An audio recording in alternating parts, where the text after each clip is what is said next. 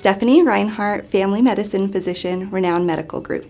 People may be surprised to know that I was an English teacher before I became a doctor. I just wanted a little bit of a change, and so healthcare was a perfect transition for me. My philosophy for patient care is prevention. Um, I think that that's really key. If I can get a patient in and see them for their wellness while they're well, I feel like that is um, the most successful visit that we can have.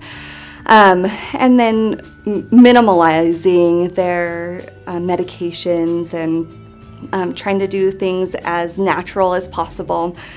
On top of that, I think it's just so important to know your patient, uh, their family, their culture, and where they're coming from because it really just um, influences their whole health care.